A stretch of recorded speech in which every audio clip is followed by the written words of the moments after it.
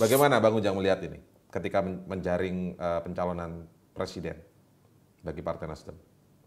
Nah, saya salut dengan Partai Nasdem. Kenapa? Dalam pilkada, Partai Nasdem partai yang pertama tidak memungut mahal. Itu luar biasa.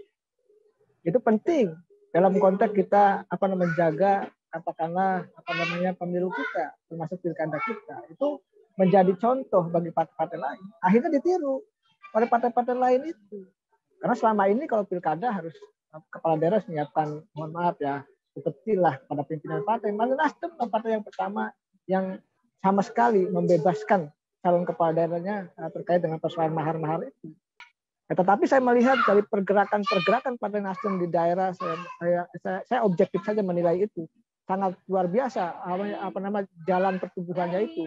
Dan saya melihat, uh, saya punya keyakinan kalau itu terus dijaga, kalau itu terus dikelola gitu, kalau itu terus apa namanya uh, di manage dengan baik, maka ya tidak aneh tidak heran pula kalau suatu saat 2024 Nasdem akan menjadi muncul sebagai partai katakanlah menjadi partai tiga besar bahkan dua besar. Tetapi butuh kerja keras. Nah, visi, visi, visi bangsa inilah yang harus menggerakkan Partai Nasdem. Tanpa visi, maka mohon maaf, partai akan ditinggalkan oleh rakyat. Oleh karena itu, visi besar itu menjadi penting dalam konteks kerangka membangun masyarakat, bangsa, dan negara.